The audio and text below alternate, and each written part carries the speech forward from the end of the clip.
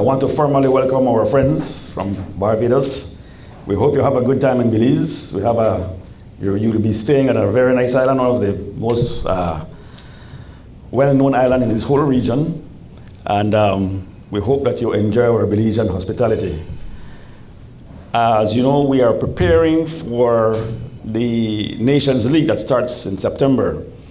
But the Barbados Tridents are here for our match, our friendly match, that will be held at the Ambergris Stadium on Saturday.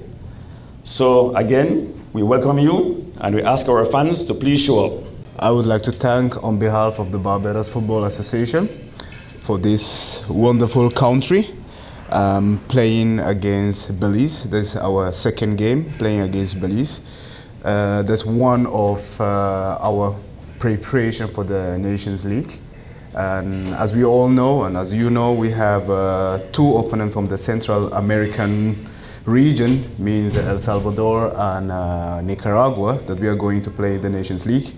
I know it is a friendly game, it is a preparation for the Nations League, and I'm hoping from the Belizean side that they give us a really good well competed game and I'm looking forward for this game.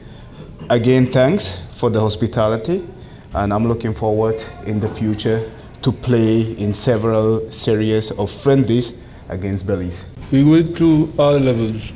We first dealt with physical, you know, then we get to um, ball work, tactical work, and all type of stuff. So I think mentally we're prepared, physically we're prepared. Now this is this is the point that we should test our those. Playing against a team like Barbados, we know that they will give us a hard game. It's not going to be easy. So we're going to, we're going to see what they're really made of when the game is over.